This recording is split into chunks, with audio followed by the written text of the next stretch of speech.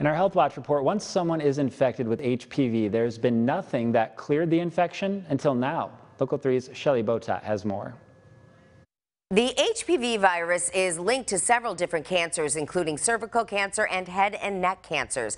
Now, a new therapy is wiping out the virus before it becomes life-threatening. For Sandy Lalonde, cancer was the last thing she was thinking about in her early 30s, until months of irregular periods convinced her to see her doctor for testing. She said, we have bad news, your high-risk HPV test came back positive, and we're pretty sure you have cervical cancer.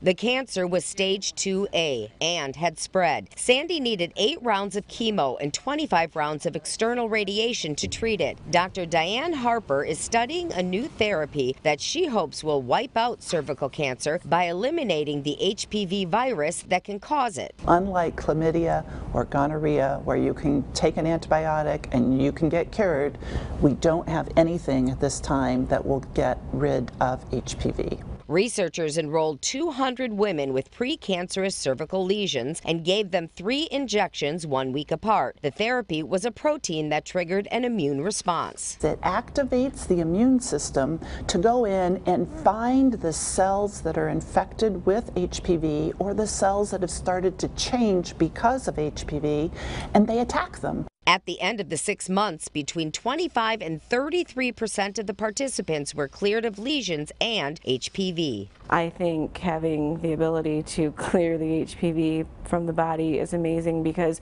just because somebody doesn't develop cancer from HPV doesn't mean that they don't have a whole host of other complications. Dr. Harper says it's important to note that the vaccine researchers are testing is different from Gardasil, the vaccine given to preteens to prevent HPV.